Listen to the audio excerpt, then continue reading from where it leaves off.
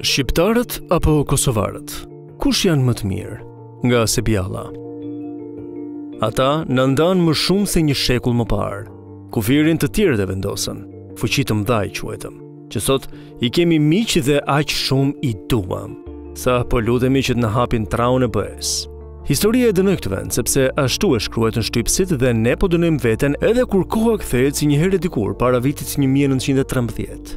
Krahina e madhe e Kosovës u çlirua, po ata që na ndanë e risollën ku ishte. Me një kufi në mes i cili fizikisht pengon, por shpirtërisht jo. Kështu duhet të ishte, por kështu nuk është. Kur vetë bota bëhet edhe më e vogël, duke prerë çdo tel kloni, Shembur piramida kufiri e rrëzuar çdo tra, edhe mes shteteve që kanë gjuhë e zakone të ndryshme, ne këtu në Shqipëri dhe ne në Kosovë, shpikëm një term të ndyrë mes vetes. Ne shqiptarët dhe ata kosovarët. Ne kosovarët dhe ata shqiptarët. Patriot me llafe bëhemi shumë. Flamurin e kombit palë në shtëpi, a ngjitur në ndonjë shtizë në ballkon e mbajmë. Por kur vjen çështja në kuvendim e krahinizëm, jemi gati për ndarjen. Ne dhe ata. Kush ne dhe cilët ata?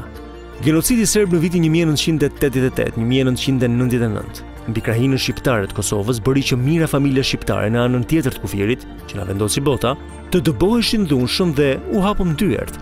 I pritëm kush kishte e kush nuk kishte. Dikush përfitoi ndonjë derr në këtë pyll që jemi, ama shpirtin e hapëm. Sa lot nëna shqiptare janë derdhur për fëmijët, gratë, pleqtë dhe loket e Kosovës.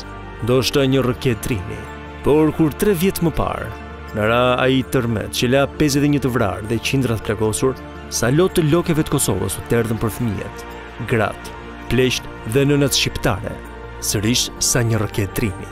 Sa familje të Kosovës hoqën edhe atë pak pension për t'i dhënë ndihmë për të mbijetuarit këtu, shumë. Po si mundet kur ndjenja është kaq e madhe nga i njëjti gjak ende nuk e kemi kapërcyer ndarjen? Ne? dhe ata na i shti shkjau. Ish kryeministri Ramush Haradinaj, në një komunikim të lirshëm ku isha edhe unë, pati deklaruar këtu e 4 vite më parë se ishte habitur jo pak kur në rrjetet sociale në të ashtuquajturat portale, ishte botuar një shkrim sikur fliste një shtetas kosovar dhe ankohej se në jug të Shqipërisë ishte zënë me pronarin e një hoteli dhe ai ishte shprehur me mllef, mirë ua ka bërë serbi juve. E ky rrëfimtar, Vijonte duke theksuar se pikërisht për këtë fjalë të rëndë nuk do të shkonte më në Shqipëri. Madje i bënte thirrje të gjithëve të refuzonin bregdetin shqiptar. Lajmi mori dhenë e komentet këtej e andej nisën pa fund.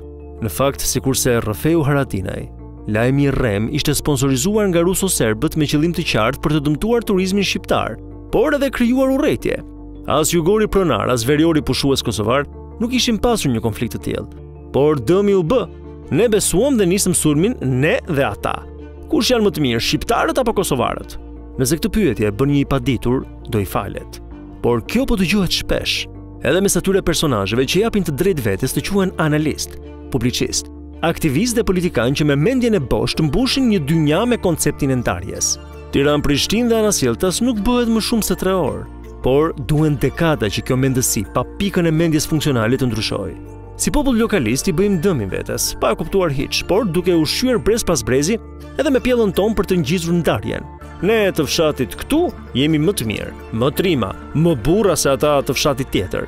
E fëmija dëgjon, blen çfarë i thotë prindi dhe kur rritet, shet pikërisht atë që ka mbjellë me kohë. Ndasinë. Armiku jemi ne. Stinë vere, zheg mbi krye dielli, plazhet duan njerëz, hotelet kërkojnë klientë, Bareve e restoranteve u nevojitet xhiro, mezi i presin këto muaj për të fituar diçka në këtë mot krize. Lek nëpër duar, euro në mundshin. Sytë kthehen nga përtej kufirit që na e kanë vënë të tjerët. Kosovarë quhen, shqip flasin, shqip shkruajnë, shqip shajnë, shqip këndojnë, shqip qëllojnë, shqip mbrohen dhe shqip vdesin. Heu bre burrë, ha more burrë, ha mor burrë. Thuaj si të duash, shkruaje si të duash, lexoje siç është. Rrënja mbetet e njëjtë. Dialektet ndryshojnë, njerëzit jo, gjaku jo, gjuha jo, tradita jo, por mendjet tona po tolloviten aq shumë sa tentojmë ndarjen mes vetes, për të shkuar në duart e shkjaut, hasmit dhe armikut që na kthyen një komb në tre më shumë shtete. Ka edhe më keq.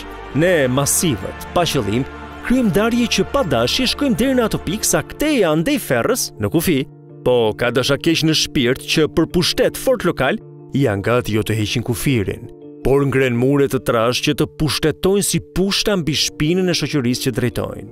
Kjo është raca e politikanëve tanë dhe vetëm këtu nuk mund të bëjmë ndarjen ne dhe ata, sepse janë njësoj. Mbledhje të shumta qeverish. Një herë këtu e një herë atje.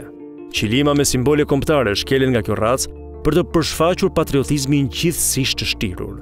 Kur qytetarët e tu i mban të shtypur, i ushqen me ndarje, ia grabit të ardhmen, u rrëmben pasurinë, ia keqlexon votën dhe në fund, shfaqesh patriot i madh, je një hiç që historia do të dënojë, por faj do i mbesë masivëve që i mbajmë edhe kur na ndajnë.